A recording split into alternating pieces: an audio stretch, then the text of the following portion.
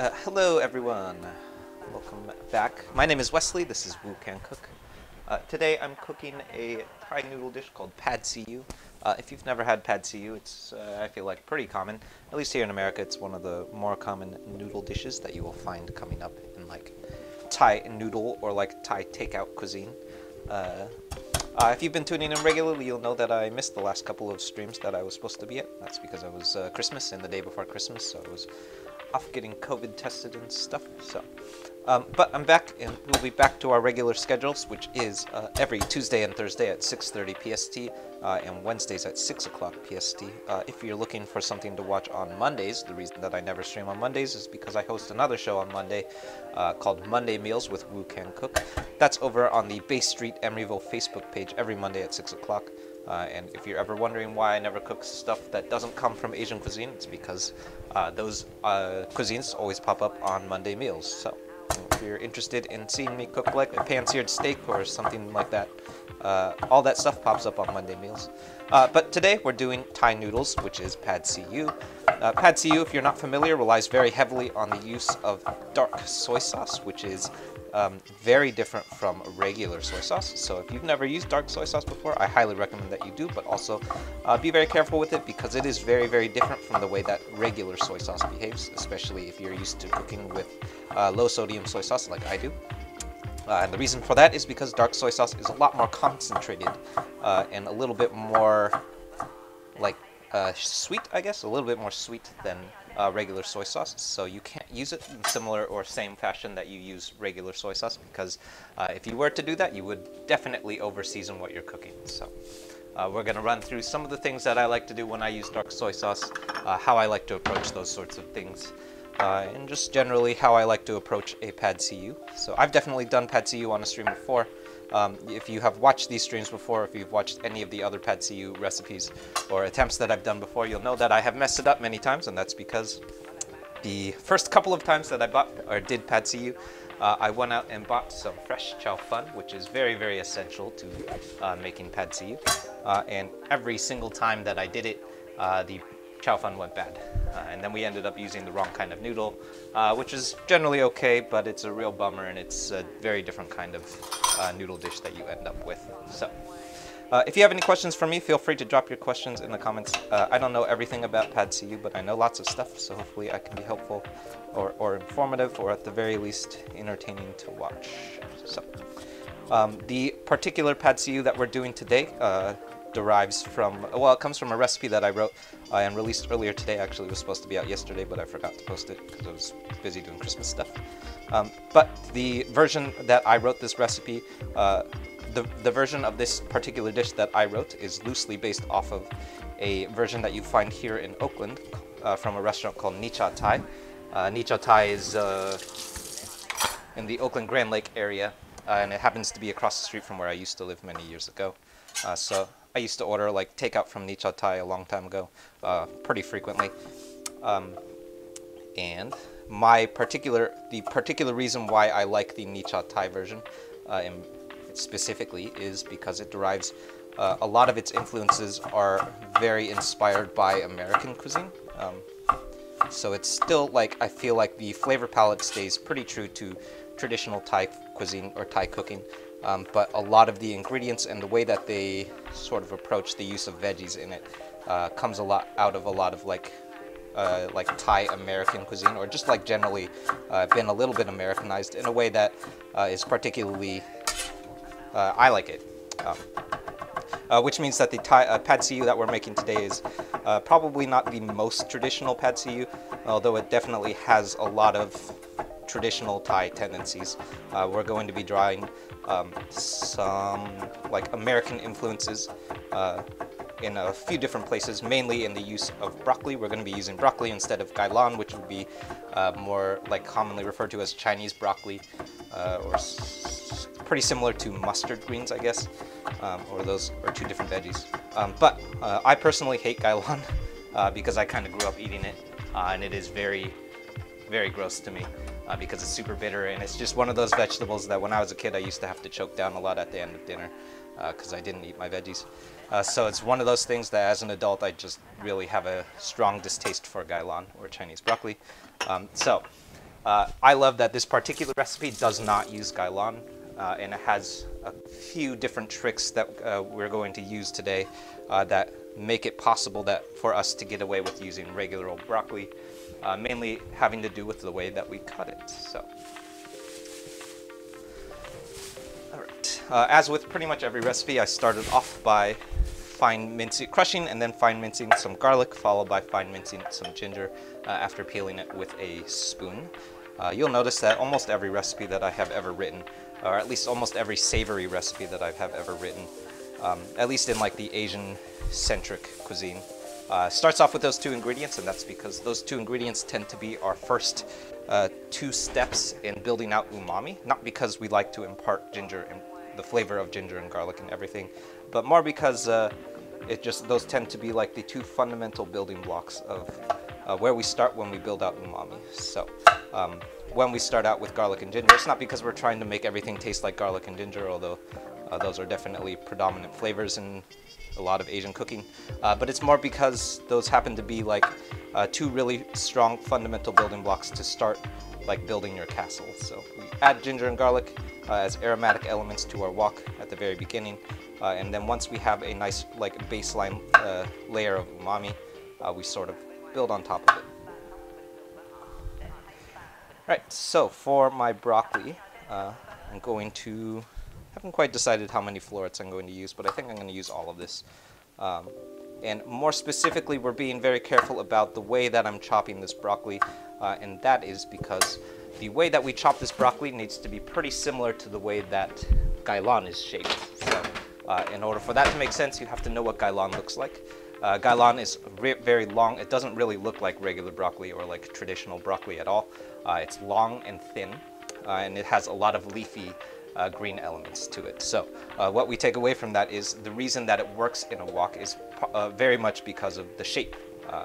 so a long, thin veggie, when you throw it into a wok and flash cook it on high heat, like like you do with most wok veggies, will flash cook very easily because it's very long, very thin, and not very uh, it's not going to take much heat to get at least a little bit of a cook on it. So uh, if we were to throw, say, like a large piece of broccoli like this into our wok, uh, what would happen is that piece of broccoli would end up undercooking or overcooking and then other smaller pieces would undercook. So uh, we don't want to do that. So in order to make sure that these do cook properly, uh, we're cu cutting them in a very, very similar shape to how you would see gailan. So uh, long, thin, kind of in a spear shape, uh, generally making sure that we don't have very large, um, yeah, large and thick clumps of broccoli. Uh, otherwise, those are definitely going to undercook.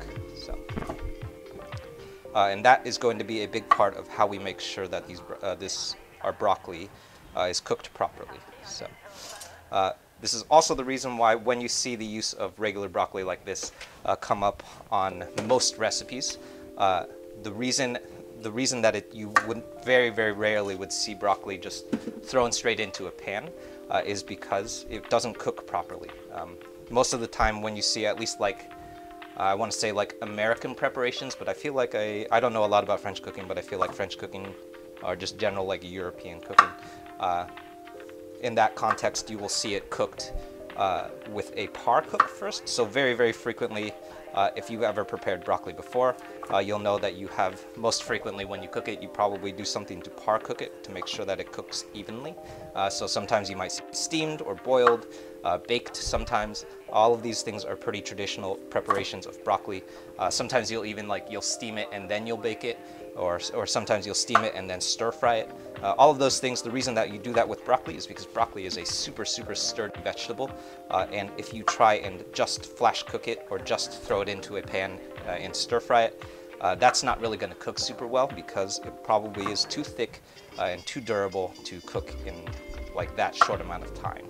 Uh, so very frequently what you would end up doing is par cooking it. So in Asian cooking, you very, very infrequently will see the use of a par cook, uh, mostly because wok cooking happens on very, very high heat.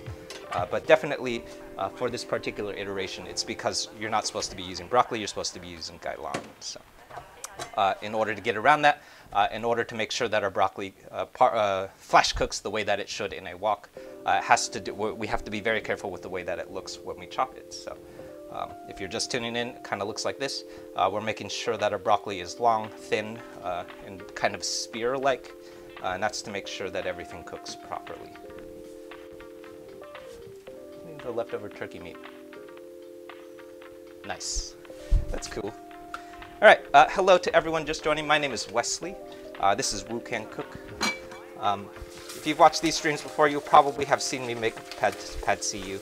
Uh, you probably have also seen me um, do a very poor Pad See Ew before because I have messed this recipe up many, many times. Uh, but I did finally figure out how to do it perfectly. Uh, and that is actually up on my YouTube channel. So if you're not already watching or already following us on YouTube, uh, that's over at youtube.com slash cook, which if you're watching on Reddit is the YouTube channel at the bottom of the screen. Uh, and that's where all of the recipe videos that go along with the things that I live stream will eventually uh, pop up, including the recipe for this video, or for this live stream, uh, which came out earlier today, I think this morning. Um, so lots of stuff like that. Uh, I kind of took a little bit more time and slowed down a little bit. Uh, took a little bit more time to walk through all of the things that I'm doing. Some of the decision makings that decision making that goes behind uh, the recipe itself. Uh, kind of talking my way through it and uh, also kind of diving into uh, the restaurant that this is derived from, which is Nicha Thai here in Oakland. so lots of stuff like that popping up on the YouTube channel. Right, I just started doing a whole series on reproducing uh, foods uh, from local restaurants here in the San Francisco Bay Area. So we did uh, another Westlake soup uh, a couple weeks ago. Oh, that was last week uh, from a restaurant in San Francisco called Dragon House. Uh, this particular pad see ew is based off of a pad see ew from a restaurant here in Oakland called Nicha Thai. Uh, so if you happen to be in the San Francisco Bay Area or particularly in the Oakland area, specifically around Lake Merritt, uh, you might know some of these restaurants because they're all recipes that are based off of things that I have eaten a lot. So, um, so uh, if you are interested in content like that, maybe uh, cooking some of this stuff yourself and not just watching me cook it, or just watching me cook more stuff on the internet, uh, that's a fun place to be um, because lots of fun stuff popping up over there. So uh, if you're not already subscribed, or if you are subscribed and are just watching me uh, on the live stream on YouTube, I recommend hopping over there. Oh, also, uh, in addition to the recipes, I have also started live streaming on YouTube, where I will generally be announcing everything that I cook uh, at least a day or two ahead of time. Uh, I posted what I was going to be cooking today a couple days ago, and that's a really great place to be if you want to cook alongside me and maybe not just watch me. You could also cook with me, uh, which some folks have started doing. Uh, so uh, you can like find the things that I'm going to be cooking, and then you can cook with me, and then you can ask me about things that you make mistakes on because uh, I know that I make lots and lots of mistakes. So YouTube, fun place to be. if you haven't already, pop over and subscribe. We're working our way to 1,000 subscribers by the end of the month. Uh, and we have a lot of watchers, so hopefully we can do that. That's cool. 3,000 viewers, that's neat. Oh man, yeah. So if you guys have any questions, feel free to drop your questions in the comments. Uh, lots of times I miss questions, so if I don't answer your questions, feel free to just repeat it uh, because uh, sometimes the chat scrolls really, really fast and I miss it.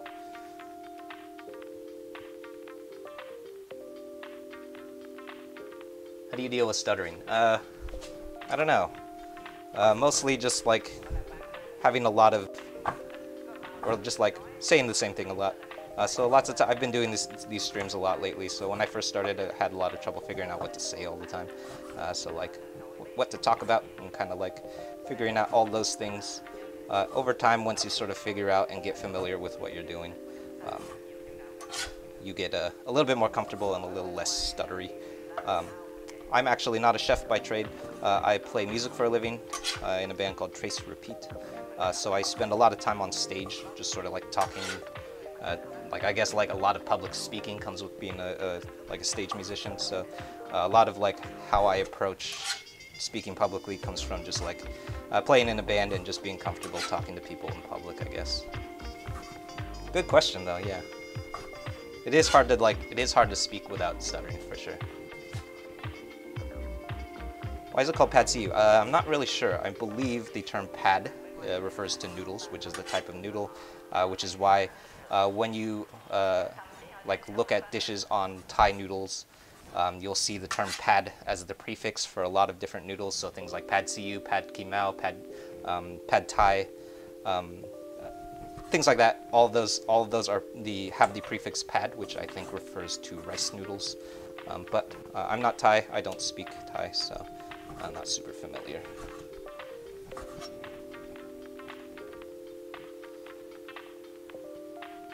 Yeah, uh, so uh, tonight I'm using uh, chicken thigh. I believe in the original recipe that I wrote, uh, which is up on YouTube, I did this with chicken breast. Uh, and that was because I didn't have a very, wasn't super happy with the use of chicken breast, although I think I did, um, I think the logic behind using chicken breast was solid. Um, but the reason that the original recipe uses chicken breast is because the dark soy sauce that we're going to be using is very, very heavy and very, very thick.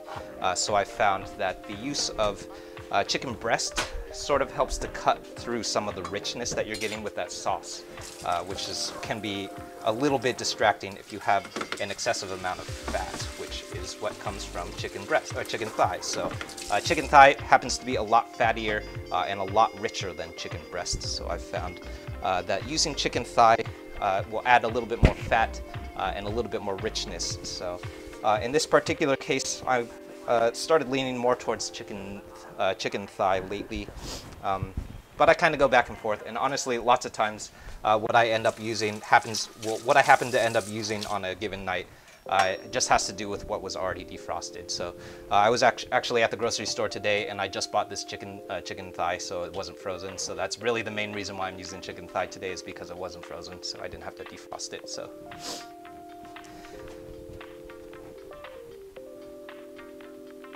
Oxidation on the leg, yeah, actually. So it's a this is so this is a carbon steel knife. Uh, there's not a whole lot of oxidation, but there's definitely more oxidation than if you were looking at like a stainless steel knife. Uh, the main reason that you're seeing a lot of oxidation is because this is made of carbon steel, uh, which means, so it's, I wouldn't necessarily call it like oxidation, it's more like patina, uh, which is sort of like a wear that shows over time. Uh, which is actually the reason why I love carbon steel so much is because it sort of wears uh, and it shows like, it kind of just shows its age. So uh, I love doing that part in particular so, um, for the same reason. So if you've ever seen my wok, uh, anyone who's probably followed these streams before has seen this wok. Uh, this wok is, is black now, and that all of that is, has to do with the patina and seasoning of the wok. Uh, before I started using it a lot, it kind of looked like this handle, which is like bright silver. Uh, and all of that dark coating uh, comes from the seasoning and like uh, patina of the wok over use, over, over time. Um, so yeah, that's definitely why the knife has so much oxidation, because it's made of carbon steel. Cool.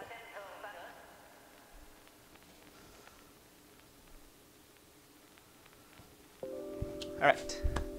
Um, okay, so next for my chicken thigh, uh, I'm going to do a pretty quick marinade. Uh, our sauce is already very, very heavy, um, so I'm not going to be super complicated with the way that I marinate this. I'm going to keep it pretty simple because uh, I don't want to add too much richness to the chicken itself. Uh, mostly just looking to impart a little bit of depth of flavor uh, without getting in the way of the dark soy sauce that we're going to be adding later. All right, so I'm starting with, this is going to be four tablespoons of soy sauce. And then, let's see, a pinch of kosher salt. Uh, and then two tablespoons of Shaoxing wine. Shaoxing wine, definitely not traditional to Thai food, um, but I think it adds a little bit of sweetness and a little bit of brightness that really helps in marinades. So uh, I have started using it in a lot of marinades because it helps just develop a little bit of depth of flavor that works uh, really, really well. So uh, if you haven't tried it yet, highly recommend it. Uh, if you can't find Shaoxing wine, a good substitute is just plain old dry cooking sherry um, which I think is a little bit more readily available, and I'm pretty sure Shaoxing wine is essentially just dry cooking sherry. All right, so I'm tossing in, that's a star anise pod. Star anise pod, if you've never used it before, I think is the, in my opinion, the predominant or prevailing uh, season that you get from Chinese five spice. Uh, and it's sort of that like really bright, uh, very like um, aggressive flavor that you get from Chinese five spice. Um, so the last thing that I'm going to use is a pinch of white pepper, which I have also started using in a lot of uh, raw chicken marinades, uh, just because I feel like it binds really well with marinades, so uh, I love doing that. Uh, white pepper, if you're not familiar, uh, comes up on like serving tables a lot, so Uh, you will very frequently see white pepper in like the Lazy Susan uh, in a Chinese restaurant next to the soy sauce because uh, uh, lots of times folks will, oops, we're on the wrong, my bad. Thank you for catching that. Uh, lots of times you will see uh, white pepper uh, on the table next to next to soy sauce because lots of people like to use uh, white pepper in soups. So uh, that's another like probably the more common use of white pepper is in soups. Um, but I feel like it works really really well uh, in marinades too. So that's it for our marinade. If you're really committed, you want more specifically you want to give that star anise pod a good amount of time to sort of marinate uh, in the chicken. So you probably, if you're really committed, probably about an hour. Uh, we're not going to do that. That's probably we'll probably go for like maybe 15 minutes and it'll be just fine. Uh, but the longer you let it marinate, this is going to be true for anything that's raw chicken. Uh, the more flavor, you more depth of flavor you will be able to impart. Right. Uh, next up, this is just two eggs. Uh, nothing fancy with our eggs. These are the last things that's going to go into our noodles. Uh, you will find the use of eggs come up very, very last in a lot of Thai noodle dishes uh, for the specific reason that when you add eggs to Thai noodles, uh, unlike if you were to add eggs to, say, uh, fried rice, your goal is not to create scrambled eggs. Your goal is to coat your rice noodles in eggs. Uh, so we add it at the very, very end so that our eggs end up coated in rice noodles. So that's probably a quality that you associate with a lot of things, like a lot of Thai noodle dishes, really anything with rice noodles, uh, is rice noodles that are have like an egg coating, as opposed to say like a fried rice, uh, which is like rice with curds of scrambled eggs in, um, incorporated, uh, which is very different. So. Uh, how do you make a wok work on a regular home range? Great question. So uh, it depends what kind of range you have. Um, today I have, uh, what I'm using today is uh, gas range, um, and it is nothing special. It's just a straight, straightforward gas range. Uh, lots of folks think that you can't uh, use um, you can't use a wok on a home range, which is absolutely not true. Uh, it just just means that you have to approach it a little bit differently. Um, so it means that the way that you approach cooking uh, on a home range uh, is very, very different from the way that you approach cooking in a restaurant. Whereas in a restaurant, the, the restaurant burners that they have get a lot, lot hotter than how hot your home, home range will be able to get. Uh, and for that, for that specific reason, lots of folks think that because your range doesn't get hot, hot enough, um, you can't use a wok on a home range, which is absolutely not true. Uh, it just means that you have to approach the way that you use the wok a little bit differently. So mainly what happens when you use a wok on a home range, since you don't have that super high heat, uh, as you add more things to the wok, uh, the temperature of the wok gradually starts decreasing. So if you add a bunch of stuff to a wok, uh, which is very tempting to do because woks are really, really large, so it's very tempting to just keep throwing stuff into the wok because it will fit and it's not going to overflow. Um, what happens is as you get more stuff in that wok, uh, eventually the wok's temperature is going to just completely drop to nothing. So I've even done stuff uh, where I added so many things to the wok that it was like you could stick your hand in it and it wasn't, wasn't very hot. Uh, and that's because woks don't have a lot of heat retention in the way that your standard like skillet will, and that's because skillets have really, really heavy bottoms on the on the bottom of the pan, and that bottom, that really heavy bottom, uh, allows your pan to have a lot of heat retention. So since you don't have that heavy bottom, we use a process called uh, batch cooking, uh, which is the process of uh, cooking some stuff in the wok, and then we're going to remove it, and then cook our next element, uh, and then remove that, and then at the very end, uh, we're going to throw all of those things back into the wok at the very, very end, just long enough to toss it all together, and then combine it. Uh, so what happens is since you removed everything as you were cooking, uh, you have this opportunity to use really, really high wok heat without actually um, ever adding everything to the wok at one time. So since, since there's no point uh, in, your, in your real cook time that you're ever actually uh, adding everything to the wok, there's no point where uh, in your cook you're actually dropping all of the temperature out of your wok. So you have this ability to cook on really, really high heat without sacrificing um, like well, I guess wok hei, what uh, what someone mentioned earlier, which is uh, that that quality of wok cooking that we're really really looking for. So um, I'm going to be running through some of uh, the batch cooking process today too. So uh, stick around, and I will I will show you.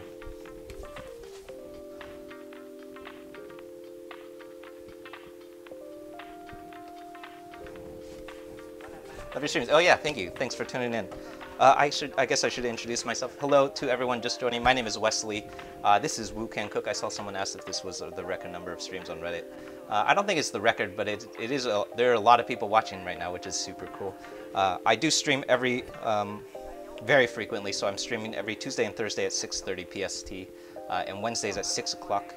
And then occasionally I stream on weekends. I don't stream every weekend, but I stream uh, sometimes whenever I have time, but uh, always Tuesdays, Thursdays, 6.30 PST, Wednesdays at 6 o'clock. Uh, if you haven't popped over yet, I highly recommend hopping over to the YouTube channel, uh, where we are also simultaneously streaming, which is the computer behind us. Uh, and over on YouTube, that's where I will be announcing uh, all of the things that we cook on stream, and that's that's so that I usually will announce it, or, or I'm going to do my best to keep announcing stuff uh, a couple days beforehand, and so that, that's so uh, you can uh, review the things that we're going to be cooking, uh, check out the recipe list, and if you want, you can pick up some of those ingredients and cook it alongside me. Uh, generally, we're moving pretty slow, so we can uh, like work our way through mistakes that we make and all of those things. We can do all of that together, which is always more fun because I know that I make lots and lots of mistakes when I cook stuff too. So. Um, that's over on YouTube along with the recipe videos for everything that I cook. So I released the recipe video for uh, this Pad See Ew earlier today. Uh, yeah, a couple hours ago even, I think. Uh, and that, that rest, those recipe videos generally move a little bit slower. I kind of take my more time uh, and spend a little bit more time like thinking about what I want to talk about and sort of like working my way through all of the decision making that goes behind the recipe videos. So like uh, sort of like explaining some of the decision making, why we use certain ingredients, why I'm like uh, leaning towards chicken thigh today, why I'm leaning towards chicken breast, stuff like that. All of those things will come up on the uh, recipe videos. Uh, so uh, if you are interested in reproducing some of these things yourself and not just watching me cook it, or if you just want to watch me cook it, uh, or if you want to cook alongside me, all that stuff over on YouTube. So very fun place to be. Uh, if not, hello from everyone on Reddit. the YouTube channel I'm talking about is at the bottom of the screen, which is youtube.com slash woocancook. So lots of fun stuff over there.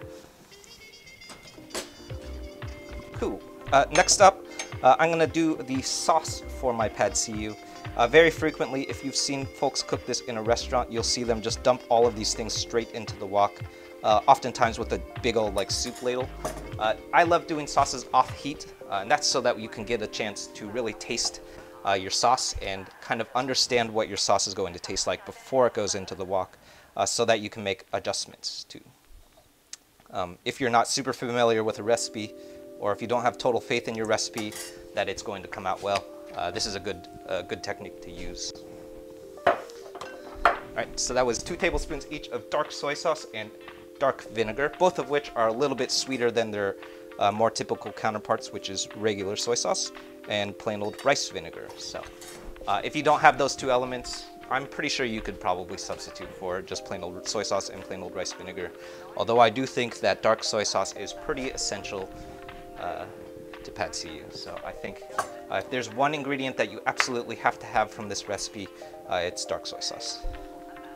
Uh, next, this is four tablespoons of fish sauce, which is going to be a little bit of fermented sweetness. I think also uh, fish sauce is one of those iconic uh, qualities about Thai noodles that you will find, especially with things like Pad See Ew. did I get my inspiration from Yan Can Cook? Yes. Yeah. I'm glad that people know who Yan Can Cook is. Uh, for those of you not familiar, Yan Can Cook uh, was a chef from the 90s who had a show on PBS. Uh, his name was Martin Yan, and he had a show uh, called Yan Can Cook. and uh, I used to watch it a lot when I was a little kid, uh, and it was sort of like where I learned a lot about like Chinese cooking. Yan Can Cook, Martin Yan had this thing about his show where would, he would use one of these giant cleavers uh, and chop really, really fast, but look deadpan and like have this goofy looking smile and look deadpan into the camera, and then chop super, super fast. And you're like, how is he doing that? Uh, that was that was Martin Yan. He was one of my favorites growing up. so I started this I started this Reddit channel and then the YouTube channel following it, uh, based off of the inspiration of Martin Yan. So, uh, and Martin Yan's uh, tagline was, "Yan can cook, so can you," which is the title on the subscriber box over there. Uh, and that's where it comes from. Uh, Woo can cook, so can you. Derives from Yan can cook. Alright, so this is two tablespoons of sambal oelek. Uh, I've gone back and forth on a bunch of different spices to use for this recipe. Uh, I tried doubanjiang, I tried uh, gochujang, Um, I tried even black bean uh, sauce, uh, all of which are not quite what you're looking for. Uh, sambal oelek, although it's like very, I feel like in the realm of like Asian hot sauces, sambal oelek is probably like the most basic white girl uh, version. Uh, but the reason that it's so basic is because it's very, very classic. Uh, and more importantly, it is very, very essential to Thai cooking. So I've experimented with a whole bunch of other things. Uh, but I have to say that I, the reason that I settled on sambal oelek after trying so many different things is because it is, that is absolutely the flavor that you're looking for, sambal oelek. So. All right, uh, that was also two tablespoons of oyster sauce, which is uh, also really important. I would say if you don't have uh, dark soy sauce and you really can't get your hands on it, uh, that would be the next thing that I would add uh, is doubling the dark, uh, uh, oyster sauce. Ooh, I forgot to do this.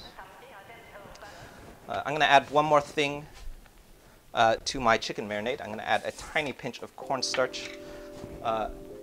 cornstarch I found, especially in wok cooking, if you add a tiny bit of cornstarch to your chicken marinades or your meat marinades, and I really mean a tiny bit, this is like maybe quarter teaspoon. Uh, it helps um, kind of protect the meat against like the really, really aggressive cooking cook heat of a wok.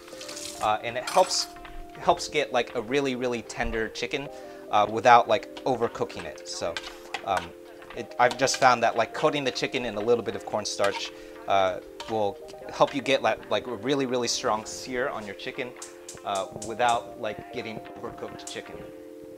So uh, the first couple of times that I did this recipe, I used way too much uh, cornstarch. So I really mean you have to use a very, very small amount, like, like no kidding, like a quarter teaspoon, no, no more than that.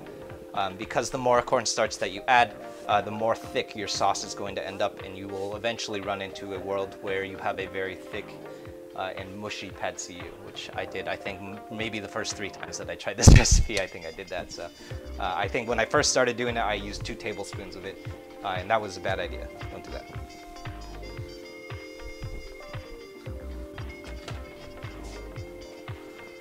All right, uh, last up, this is going to be some uh, Thai chilies. Um, before I started using Thai chilies for this recipe, I also used uh, just plain old um, jalapenos, uh, which also works too. But I do have to say that the use of Thai chilies is very specifically the flavor of Thai food. Um, so if you're looking for the ingredient that makes Thai food taste like Thai food and not just like American food or even like Chinese food, uh, this is the one. You really have to have Thai chilies, um, and there's no real substitute for it. So uh, I did try this recipe with jalapenos a few times, and it works just fine. Uh, I would say is if you don't have Thai chilies, probably just leave them out completely. Um, you'll also notice that I'm not deseeding my uh, Thai chilies, which I very, very rarely will do. Uh, I deseed almost every chili that I use, mostly because I don't really like super hot foods. Um, but I feel like the high heat and like the really high levels of capsaicin that you get from um, Thai chilies are really, really essential to the way that they taste. So um, in this particular case, I'm not leaving any of these seeds out, although I may uh, maybe toss some of them out. Um, but if you're particularly averse to really spicy stuff, uh, I would say either deseed it or just leave these out entirely. I know that uh, in a traditional pad see um, the use of Thai chili probably not super common. Uh, and I think this is maybe six Thai chilies, six or eight. I wasn't counting.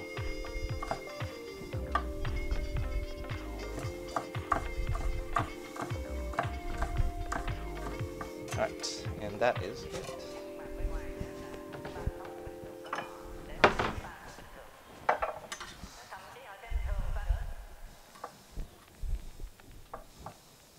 So uh, if you are using Thai chilies, remember because we left these seeds in, uh, these bad boys are gonna start smoking up real hot uh, as soon as you throw it into that wok. So, uh, and that smoke is going to be super caustic too. So uh, when you throw it out, uh, throw it into your wok, make sure that you open your windows too, because that stuff will definitely get in your throat and you're gonna have some trouble breathing if you don't open your windows. So my windows are wide open and my smoke detectors are switched off. Uh, remember, when if you are using these Thai chilies, be very, very careful because uh, they are absolutely going to start smoking up.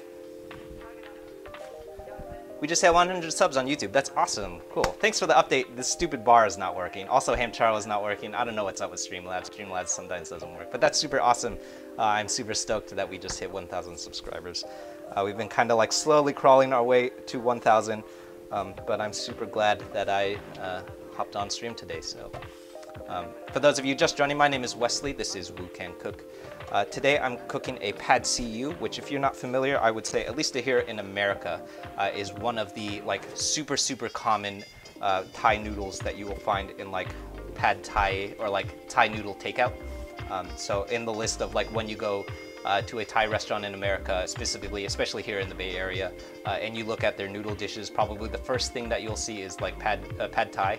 Uh, maybe the second thing that you see might be like uh, drunken noodles or uh, pad pad ki mao. Probably the third thing is pad ew. Um, uh, and really, actually, the more that I've investigated this, pad ew and pad thai, uh, pad and pad ki mao are, are, basically the same dish with a couple different ingredients added. So, uh, the thing that we're making today, uh, because I'm actually going to throw in some bean sprouts before they go bad, uh, is probably closer to a drunken noodle or a pad ki mao because it has extra veggies in it. Um, but my, what I've discovered is that, like, other than a couple of things that go into the sauce, uh, because we're adding extra veggies and Thai Thai chilies the thing that we're making today is basically drunken noodles or pad, see, uh, pad mao. Um, but uh, if you're interested in reproducing what I'm cooking today, I recommend hopping over to the YouTube channel uh, where you'll um, all of the recipe videos that go along with pretty much everything that I cook on stream, including the recipe for this particular stream. Uh, and that's up on youtube.com slash woocancook. A couple folks already are watching us on YouTube, uh, which is super cool.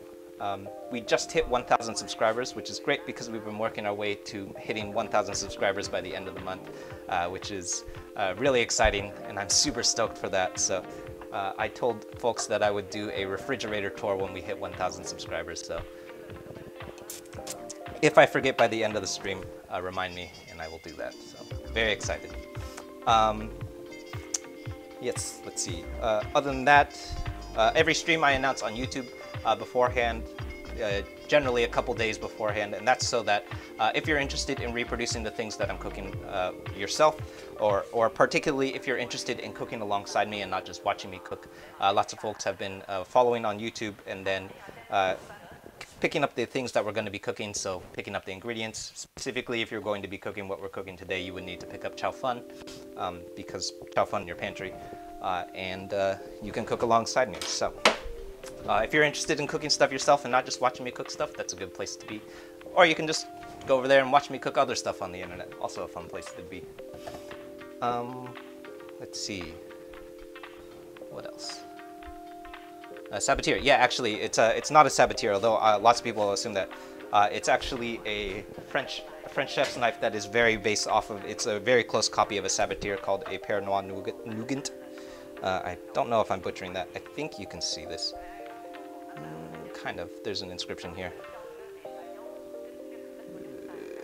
kind of. Almost. Uh, it's a vintage, uh, vintage French chef's knife, uh, which looks a lot like a sabatier, which is what this is. This is my sabatier, um, which is like a very, very famous French chef's knife. Uh, both, all three of them I got at an estate sale for 15 bucks. That's why they have so much oxidation, is because they're old. Uh, okay, last thing I'm gonna do is weigh out some chow fun. So if you don't have chow fun or you were not able to find fresh chow fun, um, the next thing I have used many, many times is just plain old dry, uh, uh, dry, dry, rice noodles. Uh, that also works uh, great.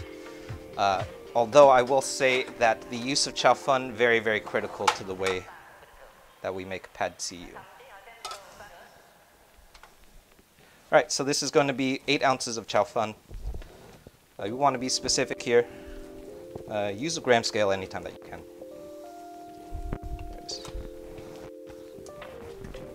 Uh, I like to use a little bit extra, mostly because when I use chow fun, I'm pretty confident that I'm not going to be able to use the rest of this up before it goes bad. So.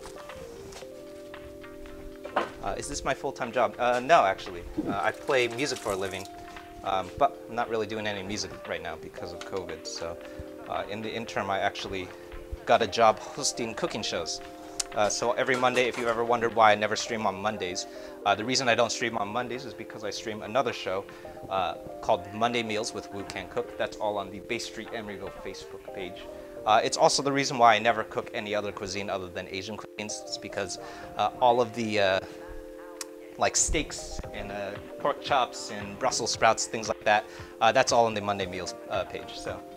Uh, if you haven't caught it yet, that I usually will post uh, post that stuff on the Reddit page uh, for the user profile that we're streaming on right now. Um, but it's also on the Bay Street Emeryville Facebook page, so you can look that up on Facebook. Uh, it's called Monday Meals with Woo Can Cook. Uh, is it possible to use udon noodles? Um, maybe. If you give it a shot, let me know how it goes. Uh, I would say udon noodles are a lot thicker, uh, and I've never tried sauteing udon noodles. Uh, I would say that it might be a weird texture uh, because udon noodles are so thick. but if you try it, let me know how it goes because I've never actually tried that before. So I'm very curious. Right, so over on our wok, uh, I'm adding, our wok, my wok is ripping hot. It's about as hot as a wok is going to get on a home range. Uh, and then I'm adding about four tablespoons of vegetable oil. That was maybe a little bit more than four tablespoons. Uh, and I'm giving it a swirl around my wok. This is a process that in Chinese cooking we call lung yao, uh, or uh, what is essentially developing a nice non-stick surface on your wok. Um, uh, and this, this is uh, what we're going to be using to cook on. So very important that you have a non-stick surface. If you don't have a non-stick surface, uh, everything is going to start sticking and you're going to have a bad time. All right, so first up, I'm adding my aromatics. This is my garlic going in, uh, followed by my ginger, uh, and then our Thai chilies. Uh, one more reminder, Thai chilies, very caustic, so make sure your windows are open as soon as you add that stuff in. Uh, and we're just gonna saute that long enough for it to become fragrant. So we're looking uh, for the scent of garlic, ginger, and pepper. Uh, for me, usually about 15 seconds, uh, but you use your own judgment at this point. Use your nose.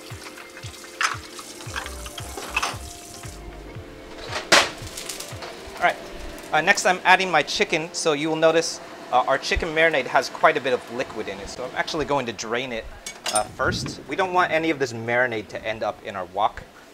Um, uh, all of that is more liquid that we don't want involved. So uh, as I add it in, I'm going to, I'm doing two things here. I'm making sure that first off, we don't want to throw that star anise pod in, uh, but also we want to reserve about as much of that liquid as we possibly can. Uh, because the more liquid that ends up in your wok, uh, the more moisture will build up and the quicker your wok will start decreasing in heat.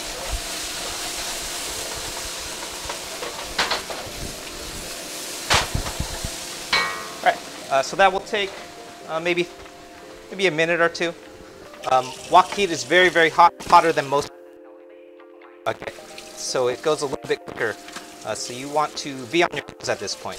Uh, once something's in the wok, uh, it starts happening very quick.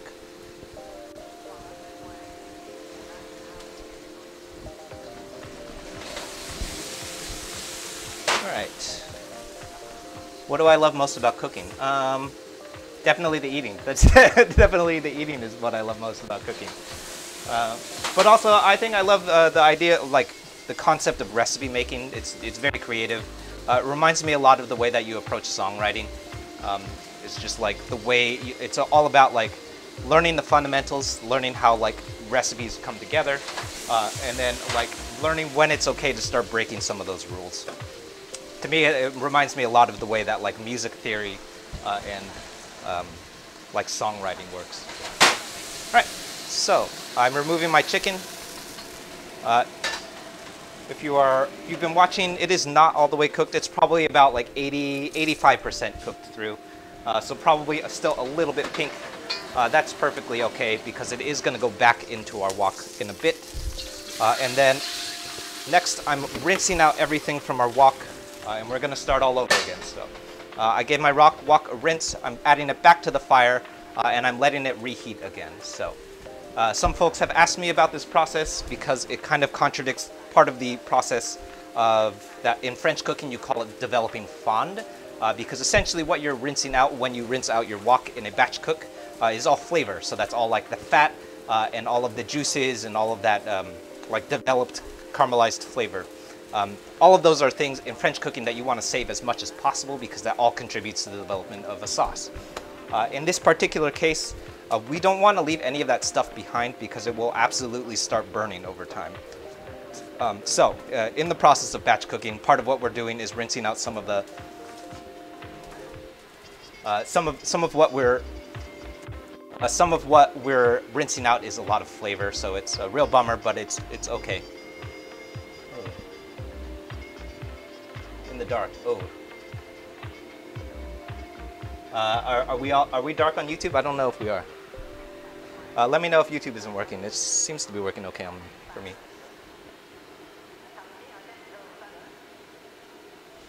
Yeah. All right. Uh, so for batch cooking again, uh, we're rinsing everything out, and then we're going to do everything all over again. So uh, reheating our wok. I'm adding uh, not as much oil this time. Maybe maybe actually four tablespoons this time. Uh, we want to go a little bit easy on the oil because there's a lot of oil in the chicken, which we're going to be adding back soon. Uh, and then we're doing the same thing except with our broccoli. So starting with our broccoli going in.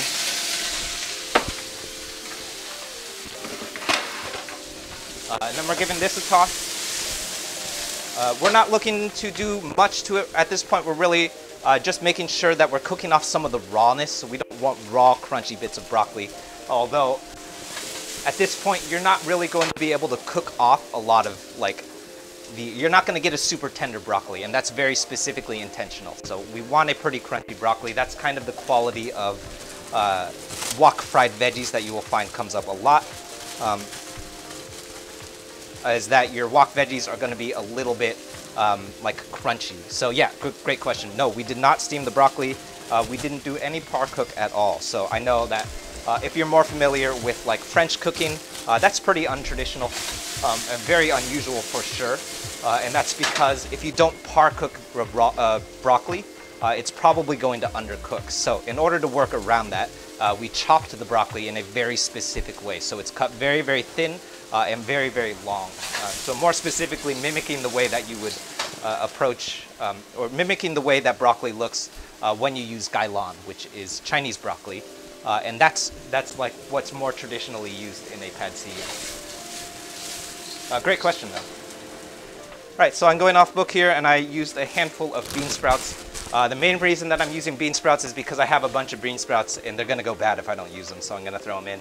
Uh, but if you're trying to stick super traditional for a pad see uh, bean sprouts do not belong in a pad see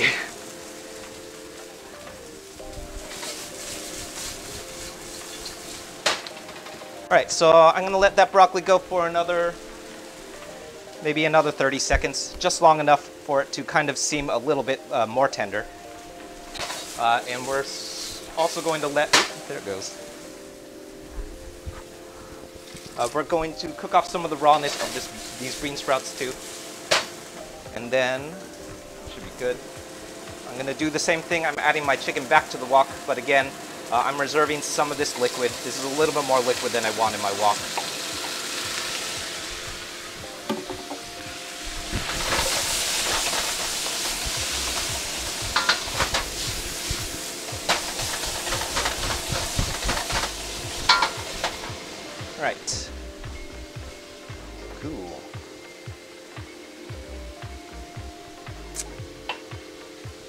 Powell's t-shirt. Yeah, I got this. I did. This is it uh, from Portland. I'm not from Portland. I'm in Oakland, actually. Gordon Ramsay. Yeah, actually, if you that's a that's a great reference actually because the the where I got this idea comes from a Gordon Ramsay recipe. So the way that uh, Gordon, Gordon Ramsay uh, comes from a Gordon Ramsay recipe. I think it's like three really simple Thai noodle dishes that you can do. Uh, I, I forget what the YouTube video was. Um, but th that's the way that he does it. Is he cuts the broccoli very, very thin and then throws it straight into. He's using the skillet, which uh, I think is not going to work in a skillet, but uh, that's actually where I got the idea, and it's uh, very specifically uh, cut in a very specific way uh, so that it works with the noodles, uh, with the wok heat. All right, last up, I'm throwing my chow fun into the wok, followed by my sauce. When I use sauces, especially with recipes that I'm not super, super familiar with, I always like to reserve the last like uh, maybe third cup, maybe a quarter cup or so. Uh, and that's just to make sure that we don't over season. Uh, so I'm reserving the last quarter cup uh, and then I'm adding everything to combine uh, and then kind of using your, use your judgment at this point. Do you need more sauce? If so, add more sauce. Yes, we do need more sauce. But definitely don't feel obligated to use all of that sauce. Pay attention Uh, what does it look like? Does it need does it need all of it? Uh, and if not, don't use all of it.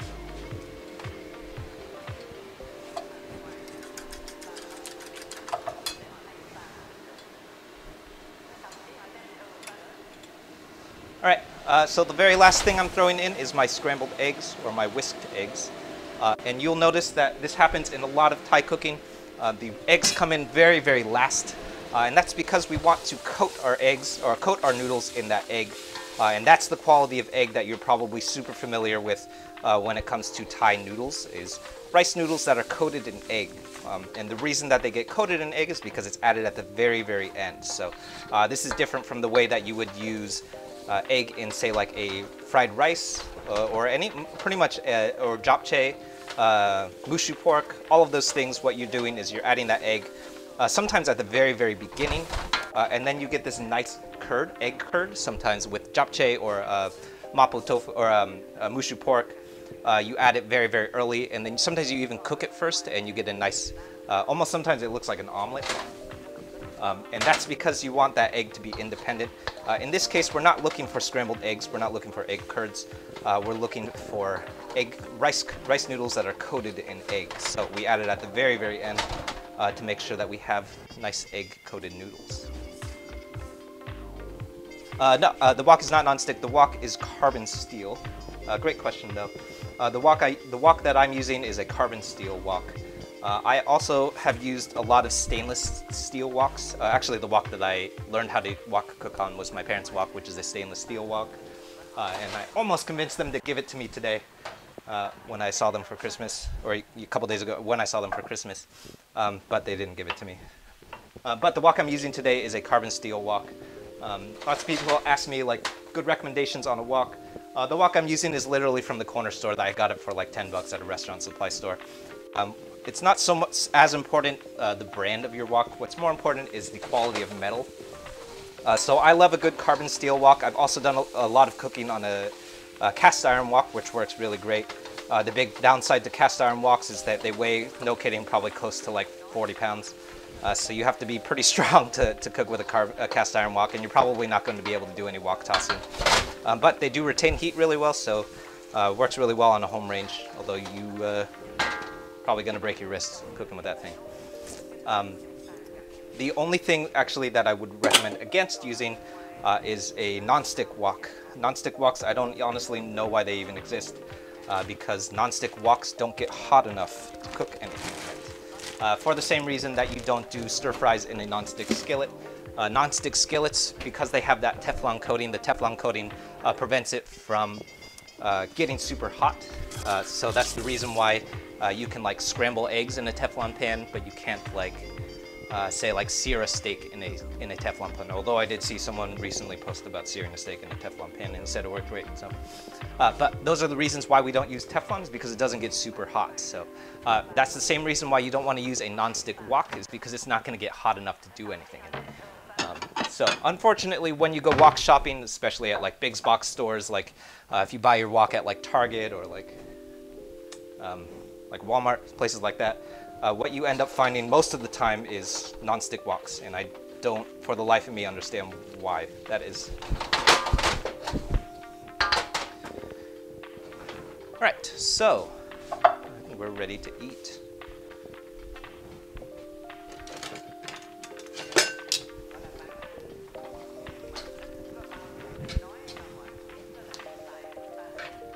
So if you've been following along, I did not use all of the sauce. I think I used maybe everything except for like four tablespoons of it or so. Um, so that's a good indicator. Uh, when you use sauces like this, uh, reserve some of it and make sure that you're not over seasoning. So just don't just dump everything in. Uh, pay attention, how much sauce do you actually need? Um, because this is, especially when you're using things like dark soy sauce, uh, it's very easy to over season in this case uh, because dark soy sauce is a very, very aggressive sauce. Uh, it's very thick, uh, and it will absolutely overseason if you don't uh, use it correctly. So, uh, the last thing we want to do, uh, anytime that you use a wok, uh, uh, is remove everything from the wok. Very, very important, especially if your wok is carbon steel or cast iron. and that's because that stuff is going to eventually start oxidizing. So, you never want to leave stuff in your wok. it's super, super um, tempting to do that because there's finished food that you can now eat in front of you. Uh, but the last thing that you should do anytime that you uh, use your wok uh, is remove it and clean your wok. Uh, super important. Uh, also really important because it's much easier to clean a hot wok uh, than it is to clean a cold wok. and that's because while your wok is still hot, you still have a very nice non-stick coating on your wok. Um, so I'm removing everything from my wok right now, uh, and then I'm gonna clean it. Uh, same way that we did when we did uh, our batch cooking. Uh, we're removing everything, uh, and then I'm gonna give it a rinse. Uh, and while it's super hot, you still have a very nice non-stick coating, so that means that while you're rinsing, most of this stuff is just gonna come right off um, because we have a nice non-stick coating. So I don't have a camera on the sink, but looks like this. Um, so back over on the stove. Uh, almost everything that came up, I'd say like 80, like 95% of everything came came right off just with the rinse. Uh, and that's because while your wok is hot, it has a ni nice non-stick uh, coating. Uh, if you had done that, uh, like say 45 minutes after you finished cooking, uh, so like say you finish cooking and then you start eating and then you come back maybe an hour later and then you get back to doing your dishes, uh, what you would find is when you come back to the wok, everything is now stuck to the wok, and that's because uh, once the wok started cooling, all of that not nice non-stick coating that you have on your wok is suddenly gone. Uh, and that means that you now have to do uh, probably a couple of things, none of which are good for your wok. So you're probably going to start scrubbing a little bit. Uh, you might have to get a sponge out. Uh, if it's really bad, you might have to get some steel wool out. Uh, all of those things are things that you don't want to resort to doing with your wok because uh, especially if it's a carbon steel or cast iron, it means that you're probably going to start uh, scrubbing some seasoning off of your wok. so th those are all things that you don't want to do. you generally don't want to be in a world where you have to start scrubbing your wok because you're probably going to damage the wok. So uh, get in the habit. Uh, every time that you finish cooking with the wok, uh, clean it. Before you do anything else, clean it. Uh, so I gave it a rinse. Um, then I'm taking a paper towel uh, and I'm just wiping this residual stuff off, uh, like so. if you've ever cooked with a stain, cast iron skillet before, this is a very similar process. so I'm wiping off all of this residual stuff. Then I'm adding a tiny little bit of vegetable oil. This is maybe half a tablespoon. Uh, and again, this is similar to uh, similar to the way that you do with a, a cast iron pan. Uh, we're just coating the whole thing with oil. Um, very important, make sure that you coat the bottom and outside too. Uh, you don't want to just coat the inside. It's not just for coating the cooking surface. Uh, really what you're doing when you coat your carbon steel and cast iron pans in oil is you're protecting it from oxidation. Uh, so it's not just for cooking surface, it's just it's to make sure that the pan doesn't start rusting. Uh, so that means that you also have to coat the outside, uh, the handle, the whole thing. If it's made of if it's made of uh, carbon steel, you need to coat it. Cool, and that is it. So super important when you're done cooking in a wok, uh, make sure that you season it. All right, so last up, uh, I'm gonna use a little bit of cilantro. Uh, if you're looking for super traditional uh, ews, you probably won't see uh, the use of cilantro. It's probably more familiar, or more similar, or more commonly used in a pad, pad thai. Uh, but I happen to have really, really fresh cilantro, so I'm gonna use it because it's really fresh.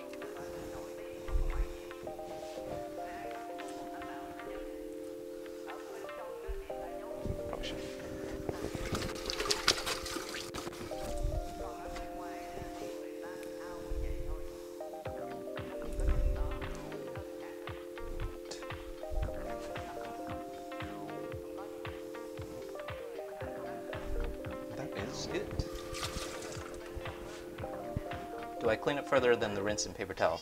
Um, no, uh, that's it. Uh, rinse it, wipe it down, paper towel, that's it. Uh, don't, uh, you, you can if you want to. If it's like really dirty, so like if you, if you, sometimes I mess up stuff on the wok and I have to clean it because it's like something has stuck to it. Uh, sometimes when I like, uh, especially if I'm working on a new recipe or if I'm not paying attention, stuff will stick or burn to the wok. Uh, a couple days ago, I was doing a meatball and I burned the meatball, so like part of the, the ground beef uh, got burned to the wok. Uh, and then I did have to scrub it.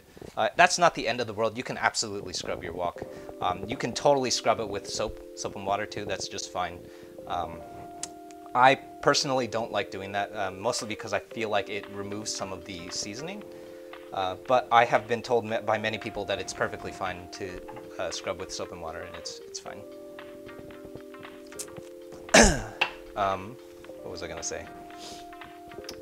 Yeah. Uh, other than, but uh, on a regular basis, though, if I'm not like scrubbing something off, uh, I don't I don't actually clean it with soap and water. I pretty much just give it a rinse, uh, wipe everything off, and then coat it in oil. And that's I do the same thing with my cast iron skillets too. I have found. Um, someone someone gave me this this advice and it was super useful actually. Uh, is that if something is really stuck on, uh, instead of using a sponge, just use the use a wooden spoon and scrub it off with the spoon, uh, and that will avoid damaging the seasoning a little bit. So, and I actually found that that, that actually does work. So, uh, same thing with ca uh, cast iron skillets too. Uh, is it important to cook with a wok often? Um, I cook with it a lot. That's why my wok is so seasoned. Um, I cook with my wok probably like five five, six days a week probably.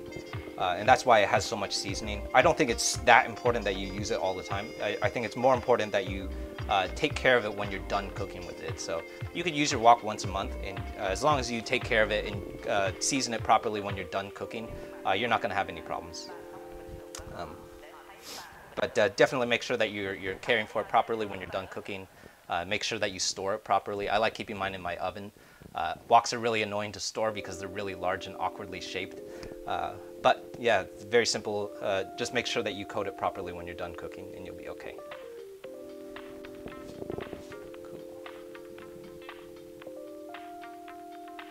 Yeah. Cool. Uh, I think I got everyone. I don't know. I probably missed some questions because uh, I wasn't looking. Uh, this chat scrolls really fast, so sometimes I miss stuff.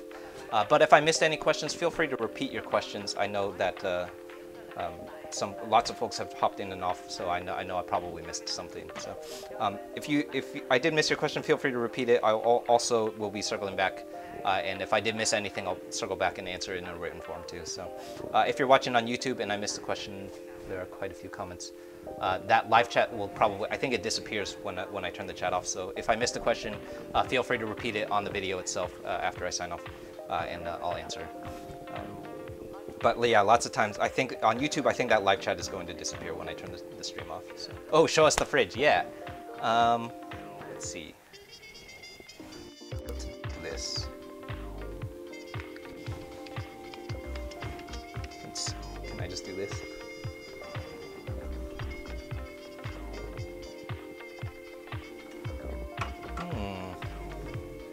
Be tricky. Uh. Let's see. All of the cameras are like locked in place.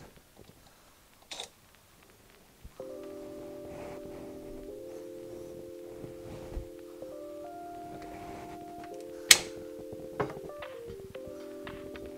Ooh, this might not work.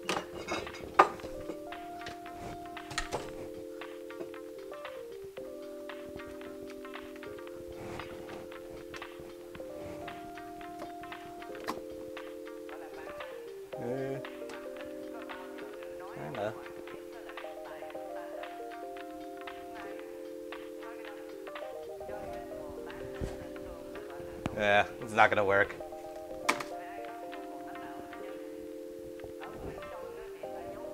Yeah, I don't think this is gonna work.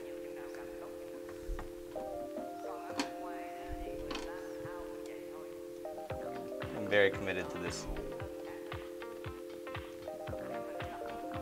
Yeah, I don't think it's gonna work. Sorry, guys. um, but let's see. I will have to figure out a different way of doing this next time. Oh, you know what I could do? I'll do this. Oh, no, this is not to work. Yeah, sorry, guys. Uh, let me put this back. Yeah, fridge tours are hard because you got to take the camera down.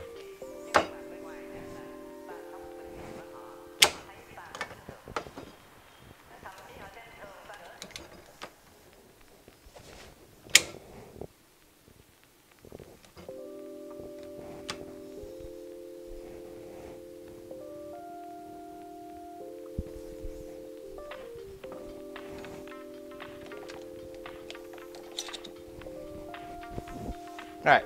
Anyway, sorry guys, I tried, but it, uh, next video I'll try and try and do it. Um, thanks for watching, everyone. The next thing that we're streaming is General Tso's Chicken, I think. I believe next stream is General Tso's Chicken. That's going to be tomorrow, uh, 6:30 PST. We'll be doing some General Tso's Chicken. Uh, the version that we'll be doing, if you're following along, is the second version from the YouTube video. Uh, and that version uses a, more specifically uses a double fry. Uh, and we're going to be walking through how to use a double fry. Why, why do you double fry stuff? Uh, the double fry, I believe it was invented by, maybe not invented, but definitely made popular by J. Kenji Lopez, uh, who's one of my like all-time heroes, and I love that guy. and someone promised that he would introduce me but I have not, not yet met J. Kenji Lopez. But yes, the version that we're going to doing uh, uses a double fry, and I'm going to be talking about why it's really useful to use a double fry, how it creates really, really crunchy uh, fried chicken. Uh, that's going to be tomorrow, 6.30 PST um, for dinner. Uh, the version that we're going to be doing is my own version, uh, but it's loosely based off of a Panda Express hack that I wrote, uh, and that kind of incorporates a lot of like more traditional Chinese ingredients and uh, sort of kind of walks through some of that those those steps. Um, all of that stuff up on the YouTube channel if you're watching on YouTube already. Uh, it's the channel that you're watching on, uh, and uh, I think the next couple of streams are already listed up on the YouTube channel. So the schedule of things that we're going to be cooking, uh, all on the YouTube channel already. So uh, if you're interested in cooking along with me, I recommend checking out that schedule and seeing what you want to cook, uh, and cook some stuff with me. It's super fun. It's always more fun to cook with other people because then we can like talk about the things that we messed up, how we messed it up, why it's like why those mistakes happen. I know that I make mistakes all the time some folks have asked me like, do I never make, make mistakes, which is absolutely categorically not true. I make mistakes on almost every single thing that I have ever cooked. Uh, I make a lot of mistakes, um, but I just like do a good job about like improvising and like making like making make the making the best out of my mistakes. So uh, yeah, so definitely, if you're interested in cooking alongside me uh, or reproducing the things that we're cooking, all of the recipe videos and uh, all of the schedules for the things that I'm going to be cooking on stream live on the YouTube channel. So uh, if you're already on YouTube, thanks for hopping over. Thanks for helping me hit 1,000 subscribers. I'm sorry that Hamcharo didn't show up today. Uh, Hamcharo, if you've watched before, is the hamster that eats ramen, uh, and he's my favorite little guy, but he only gets to eat when people subscribe, so please keep subscribing. I don't know what we're at right now, but someone told me that we hit 1,000 subscribers, so that's super awesome. thanks for for uh, thanks for making this a thing. I've never never thought that I would have a cooking channel, but here I am, and I have a cooking channel, so super fun. Um, let's see. Yeah, check out the recipe video for this Pad Ew. Uh, I released that earlier today. I think that happened a couple hours ago, actually. Um, so that's going to be super fun to check out. And uh, yeah, if you haven't yet, check out Nicha Thai, my favorite restaurant, uh, my favorite Thai restaurant here in Oakland too. So.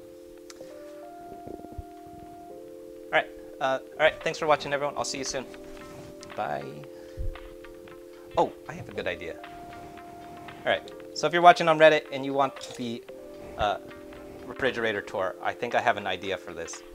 Um, but it requires that I do this. So I can't do this with two cameras. So I can't do this on Reddit, but I can do this on YouTube. So.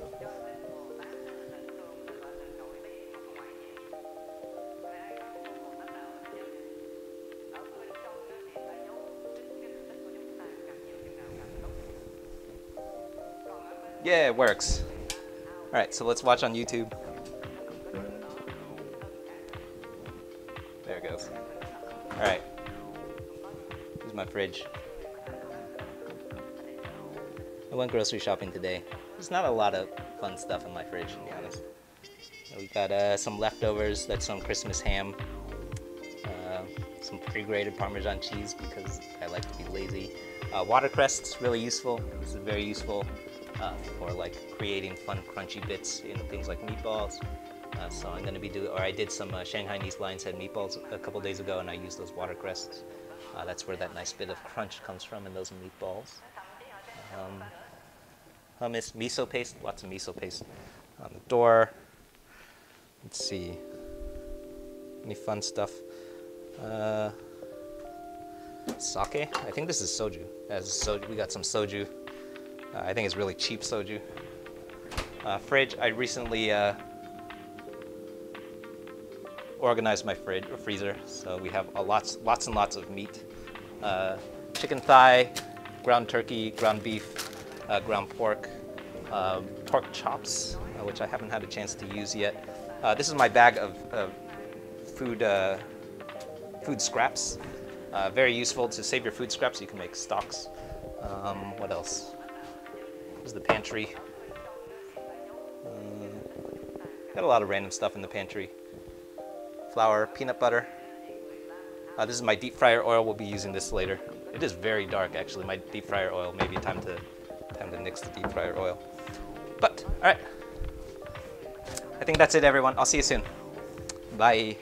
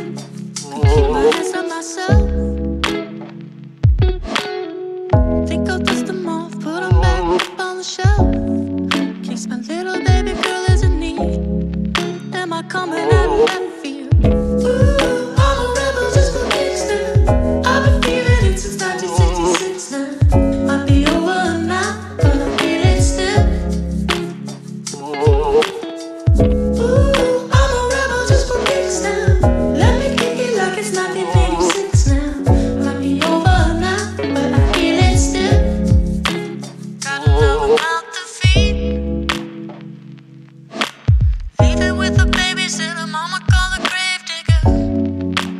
Gone with the fallen leaves. Am I coming out of